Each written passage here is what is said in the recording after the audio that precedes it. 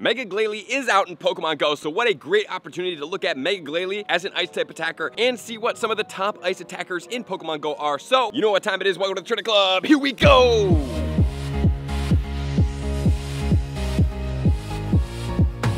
Welcome back everybody. Let's look at the top ice attackers in Pokemon Go, including Mega Glalie, which is officially out in Pokemon Go. So we're gonna do a quick snapshot of this Mega, and then we are going to move on to the top ice attackers in the game to get you familiar with what is best, because not only do we have the Mega Glalie coming out during this holiday season, we also have other things such as Swinub, we have Avalugg that's gonna be out there in the Bergmite brand new shiny release. If you guys do wanna see the tips, you can check them out up here. So let's get right into the video. And before I get into the video, I will be playing Comm Day in a Azusa, California. Thank you to Niantic and everybody that is going to be connecting me with the community. So I can't wait to be playing out in that area. So if you are in the California, I believe it's kind of like Western LA area, I will be out there this Comm Day. So hope to see you guys there. So let's start off with Mega Glalie. And if you guys do want timestamps because you're not interested in this specific Pokemon and you just want to see the top ice attackers in the game, you guys can check in the scroll bar of this video and skip to whichever part you'd like. So Mega Glalie is an all ice type Pokemon. It is going to max out at 3651. So it is not over 4,000. It is not one of the top CP Pokemon by far in the game. However, that doesn't mean it can't be an effective Pokemon. It has an attack value of 252, a defense of 168, and a stamina of 190, so its prevailing most powerful stat is going to be in the attack category. This Pokemon also will be weak to four things, which is going to be Steel, Rock, Fire, and Fighting, and it only has one resistance, which is going to be Ice. And that also goes for all these straight Ice-type Pokemon in the game. Unfortunately, four weaknesses, one resistance, so Ice typing is best if it is paired with something that will help it retract some of its weaknesses, or even if it maintains the same and adds a bunch of other resistances or cancels some of them out, because that would be the best case scenario that we do have for the ice type counters. I mean, they only really resist itself, and how often are you fighting an ice type versus an ice type? And as far as this Pokemon's moveset goes, it gets Ice Shard and Frost Breath, Frost Breath being one of the more premier movesets. However, Powder Snow has been one of them that has taken over the spot and is on some of the top ice attackers in the game. And this Pokemon is going to get for charge moves, Avalanche Shadow Ball, and Gyro Ball. So fortunately for this Pokemon, Avalanche is one of the top recommended move sets for these Pokemon in Pokemon Go. But we will see with its stats, everything included, will it be able to take over the top spots in Pokemon Go? Because now we are going to look at the top ice attackers in the game. What are gonna be my recommendations to go after, to power up, and budget counters? Technically speaking, Mega Glalie, as well as a Mega Abomasnow that are the two ice type Pokemon that we do have Megas in the game, fortunately for us, are going to be budget Pokemon, meaning you do not have to raid for these Pokemon in order to get their XL candy. They are to be spawning in the wild. Snorunt being spawning during this event. We also have Abomasnow coming from Snover, which is going to be spawning in the event and in other events as well in the future. So we do not have to worry about raiding and paying to get the XL candy if we do decide to use this Pokemon as one of our counters as raid bosses in Pokemon Go. The top number one recommended moveset is going to be Frost Breath and Avalanche 37.18, Ice Shard and Avalanche at 36.64, Frost Breath Shadow Ball 3404, Ice Shard Shadow Ball 3335, and then we have the Gyro Ball at 28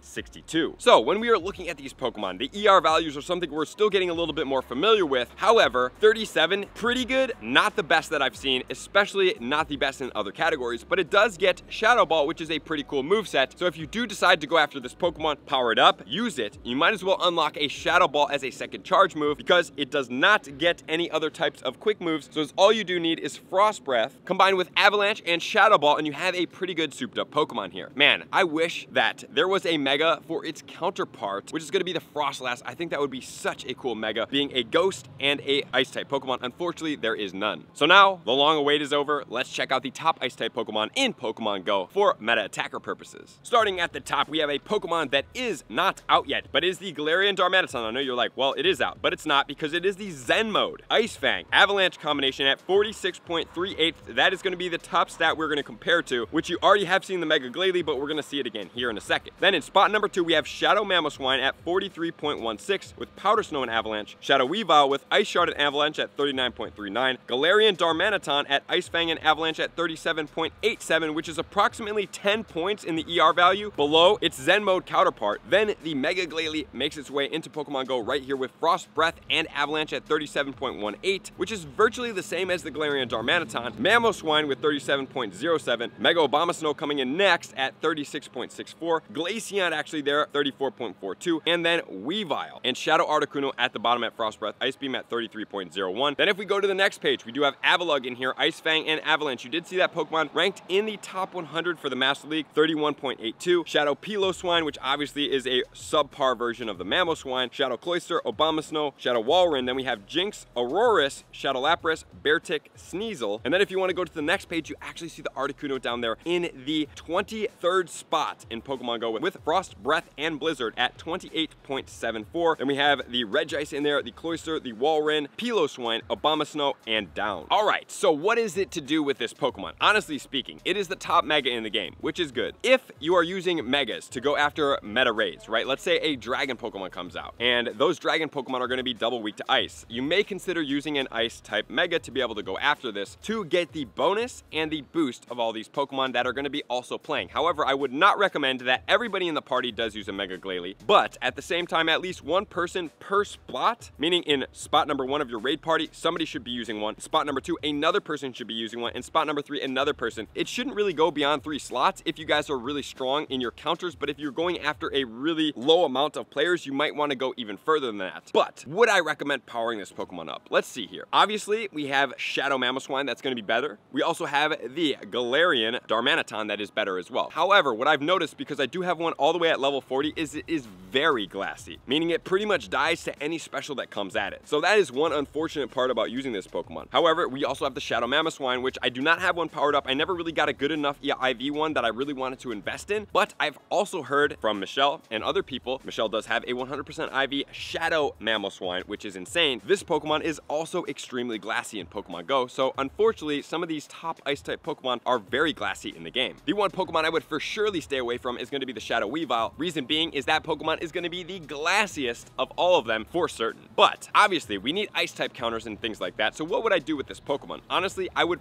probably still power this Pokemon up. Hopefully, you can catch enough of them, you can trade them, you can get a Lucky of them, and then you can power up that said Lucky to be able to save some Stardust and resources. So that is my recommendation here. Would I max multiple of them? Obviously not. If I were to go after a Mega XL Candy Ice-type Pokemon, I'm going after the Abomasnow. I'd rather you have two or three of those Pokemon to Mega Level 3 so that you can get multiple of them whenever you want because they share a dual typing and dual typings are the most efficient way to capitalize on gaining XL Candy in Pokemon Go because you can use the Mega Abomasnow for a Bulbasaur Comm Day and then you can turn around and use the exact same Pokemon for this event of the holiday season. So one Mega Glalie, max out to level 40 for sure. Level 50, maybe if you have the additional resources. I'm looking at at least 10 to 15 to 20 million XP because there's going to be future Pokemon in the ice category that are definitely going to be worth your time, energy, and resources. And we didn't see one in this that was too incredibly strong, but I want to check out Shadow Ball and then I'm going to give you something that's coming in the future. Unfortunately, it does not have a quick move that is going to be ice, so it's going to have to be discovered in a different category. And I did tweet about it the other day. Let me know in the comments below before we get to it if you guys know what it is. Obviously, the strongest Pokemon in the game with the Shadow Ball are going to be Mega Mewtwo Y and X. 56, 54, Mega Gengar coming in next at 32, and then we can go down the list with Mega Alakazam right there with Shadow Ball at 48. However, if we do want to see where this Pokemon is going to stack up in this category, guys, it is unfortunately quite far down there. It's going to be on the fourth page in the 42nd spot at 34.03. Okay, so now let's change over to the top ice attackers in the game. Let's check it out. So we cannot overlook Mega Mewtwo Y, Mega Mewtwo X that are going to be getting Ice Beam when they do come out. They are not out yet, but 51.13 for the Mega Mewtwo Y and 49.5 for the Mega Mewtwo X. But the Pokemon I am very interested in is going to be the Black Kyurem and the White Kyurem. So Black Kyurem with Dragon Tail and Blizzard at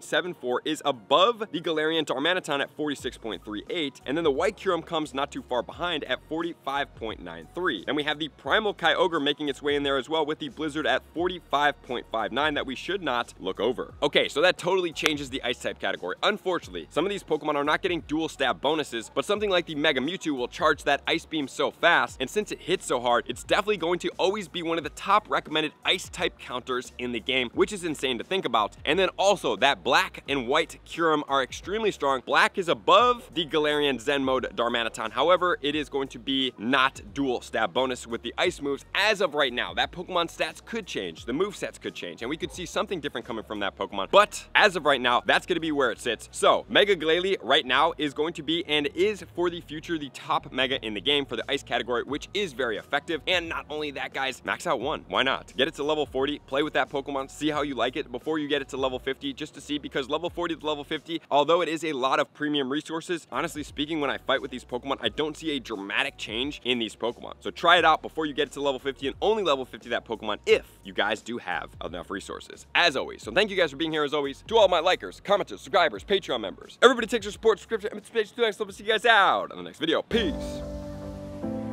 I want to take this time to thank everybody who supports me in every facet. It means the world to me, and an extra special thank you to all my Patreons. I greatly appreciate the extra support to continue to allow me to pursue Pokemon Go full time, allowing me to create my daily video uploads in the most timely fashion for everyone's benefit.